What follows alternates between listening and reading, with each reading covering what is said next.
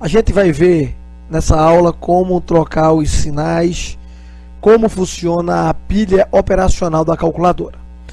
Primeiro, para que você possa trocar de sinal na calculadora, é muito simples.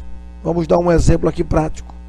Nós colocamos 12 e colocamos na memória. Apertamos a tecla Enter.